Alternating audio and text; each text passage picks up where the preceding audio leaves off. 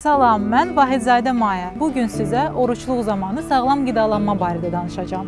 Əvvəlcə hər kəsi müqəddəs Ramazan ayı münasibətilə təbrik edirəm. Allah orucunuzu və dualarınızı qəbul etsin. Oruçluq zamanı sağlamlığa zərər verməmək və bu aydan tək mənəvi deyil, həm fiziki cəhətdən maksimum fayda əldə etmək üçün bəzi nüansları danışacağam sizə.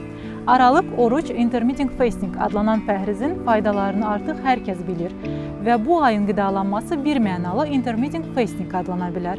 Amma qeyd etmək istəyirəm ki, bu qidalanma rejimin əks göstərişləri var və sizdə hər hansı bir xəstəlik varsa, oruç tutmadan əvvəl və ya oruç tutarkən hansısa bir narahatçılıq hiss edirsinizsə, həkiminizlə məsləhətləşin. İndi isə oruç tutarkən aclıq hissini yüngülləşdirməyə, sağlamlığa zərər verməməyə və artıq kilo almamağa kömək edən nüanslardan danışaq. İmsakdan başlayaq. Yuxudan oyandıqdan sonra 1-2 stakan su içməyi unutmayın. 10-15 dəqiqə sonra əsas yeməyə keçə bilərsiniz. İmsakda qəbul etdiyimiz qidanın əsas məqsədi gün ərzində uzun müddət toxluq hissi saxlamaqdır və ona görə də sağlam yağlardan, zülaldan və tərəvəzlərdən istifadə etməyi tövsiyə edirəm.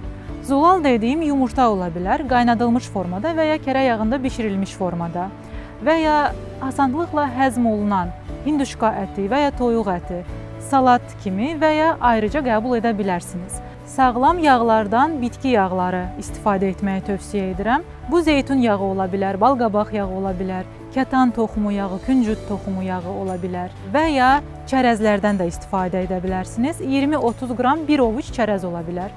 Duzsuz olması şərti ilə zeytun da istifadə edə bilərsiniz və avokado, heç kəsin sevmədiyi və çox uzun müddət insanı tox saxlayan məhsullardan biri olan avokadonu istifadə etməyi tövsiyə edirəm. Evdə çörək bişirirsinizsə, kətan toxumundan hazırlanmış çörək də ola bilər.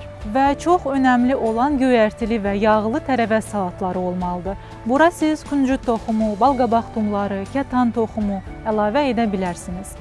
Duzsuz olmağı şərti ilə yağlı pendir növləri də ola bilər.